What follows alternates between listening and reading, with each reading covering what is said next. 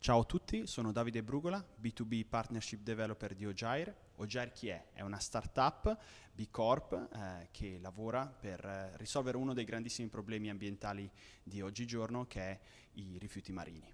Noi siamo attivi a livello globale con diversi porti in Italia, in Brasile e in Indonesia e attraverso comunità di pescatori andiamo a recuperare questi rifiuti marini durante le loro attività di pesca. Quello che poi diamo la possibilità ai nostri partner è di eh, per l'appunto collegare queste campagne che hanno un impatto sia ambientale che sociale eh, sulle comunità di pescatori, eh, di collegarle proprio, al proprio brand o ai propri prodotti.